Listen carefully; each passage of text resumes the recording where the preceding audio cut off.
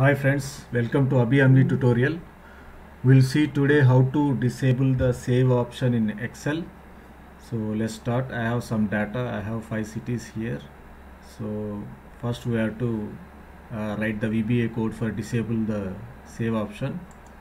Go to sheet and go to view code. Okay, then go to project explorer and this workbook. Okay, then paste the code this code you have to paste. Then once you save it this is the before save uh, VBA before save event. So it won't allow to allow you to save okay? So what you have to do is come here and go to developer tab and click on the design mode okay? Then you can save this code now okay? Then it will be saved right then come to here and uh, click on uh, switch off the design mode okay? Now this code is before save option. We are giving a message that you can't save this workbook and cancel is true. What is cancel is true? I'll explain. So for example here you want to save this data you can't save it okay?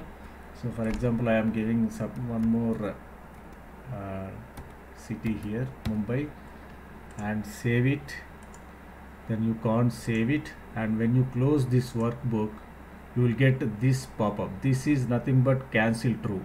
Here it is there right? Cancel true is cancel true means it will give this option okay? Then we, when you are going to save this then again it won't allow to save you. And when you click ok then the workbook will be closed without saving okay? So see that let's open our file again.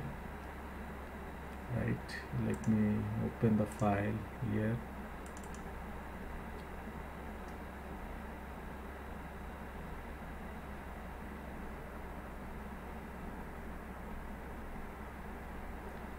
Just wait it's loading.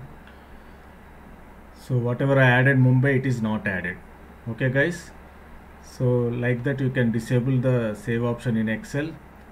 Uh, if you like this video please subscribe to my channel Abhi Anvi tutorial. Thanks for watching. Goodbye. Bye bye